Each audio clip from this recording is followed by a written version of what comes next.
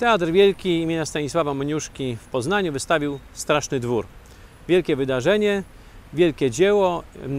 Wielkie dzieła wołają wciąż o nowe interpretacje, u nas zwłaszcza dzieła wielkie sztuki narodowej i dobrze, że te e, interpretacje się pojawiają.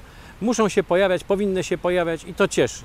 E, Oczywiście wolno robić z wielkimi dziełami dawnych epok co się chce e, i tego nie można zakazać. To jest natura życia artystycznego, że tak właściwie musi być. Natomiast pewnych rzeczy można się wstydzić. Można się na przykład wstydzić, że e, taka interpretacja jest po prostu polityczną agitką, e, która mimo jakości dźwięku, układów choreograficznych, śpiewu, wszystkiego co składa się na inscenizację teatralną, operową, że mimo tego wszystkiego jest po prostu nachalną propagandą homoseksualizmu i tego wszystkiego, co nam się wlewa w tej chwili do polskiej kultury, a to jest po prostu, krótko mówiąc, nieznośne. Oczywiście można tak robić, ale nie wypada jednej rzeczy robić. Mianowicie nie wypada podpierać się Stanisławem Moniuszką, e, który rzekomo był postępowy, bo to słowo jest tak wieloznaczne, że właściwie w tej chwili absolutnie straciło swoją wartość i swój sens.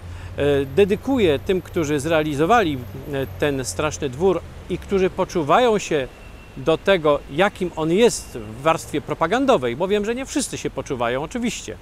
Niektórzy musieli go w ten sposób e, wykonywać i nie mieli możliwości wypowiedzenia się co do tego, czy akceptują takie przesłanie, czy nie. Otóż dedykuję tym wszystkim, którzy chcieliby Moniuszkę wkręcić akurat w taką e, rzecz, jego wypowiedź skierowaną do kogoś, kto zachowywał się tak mniej więcej jak ci, którzy to wydarzenie e, zmanipulowali. Prosimy posłuchać. Przed kilku laty pewien dawny znajomy Moniuszki zamieszkały od lat kilkunastu we Francji, wracając po długiej niebytności do kraju i przejeżdżając przez Warszawę, zaszedł go odwiedzić. Było to 23 grudnia. Moniuszko przyjął go bardzo uprzejmie, a chcąc mu spędzenie świąt uroczystych uprzyjemnić, zaprosił go do siebie na wilią, czyli na wigilię. Nazajutrz, kiedy po przełamaniu opłatka wszyscy do stołu zasiedli, gość zaczął dowcipnie wyszydzać dawne zwyczaje religijne, ciemnoty tylko dowodzące, dziwiąc się, że się jeszcze dotychczas przechowały. W rozmowie tej przyznawał się do ateizmu i religią wyśmiewał. Moniuszko z początku tej rozmowy dał poznać wyraźnie, że nie tylko zdanie jego nie podziela, lecz że wobec całej rodziny nawet prowadzenie podobnej rozmowy wcale mu się nie podoba. Lecz niedyskretny gość, nie zważając na to, coraz bardziej w tej kwestii drażliwej się zagłębiał.